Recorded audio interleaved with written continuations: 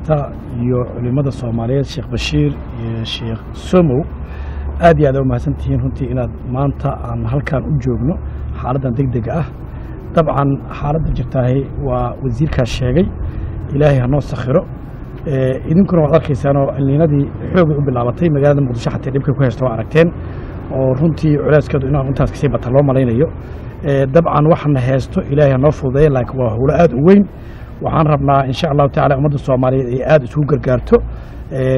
Waad dareemi kartiin dadka hal nus milyanka ka badan ee bannaanka daadsan iyo kuwa biyaha ku dhex jiro iyo kuwa ay wax allaale waxay haysteen ay mataqaanaa ay ka baaba'een. Marka waxaan dabcan rabaa inaan culummada soomaaliyed ku soo dhoweeyo in ummadda soomaaliyeed ay isu gurmato in mataqaan akoonnada iyo la sameeyey dadka soomaaliyeed ay ku soo gurmadaan in runtii annagu aan wax isku tarno. Intaan cid kale wax u qaylasa ma lahayna waxayna inaan isku ceshanno waan karnaa. Waxaan aad iyo aad runtii uga mahad celinayaa. Dad soomaaliyeedoo waxaan arkay soo keenay raashin keenay dad soomaaliyeed dhar keenay dad soomaaliyeedoo xoolo nool keenay. Intaba waa haynaa ilaa hadda waxaan ka rajaynaya ummadda soomaliya meel kastoo joogta inay soo gurmato aad iyo aad u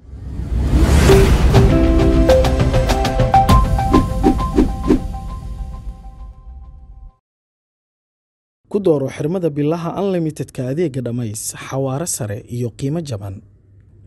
Ku shuba shan iyo toban doolar oo keliya oo hel unlimited data internet iyo ku hadal aan kaa dhammaanayn muddo bil ah uga shuba io dahab kood nambarka xidig hal eber hal afar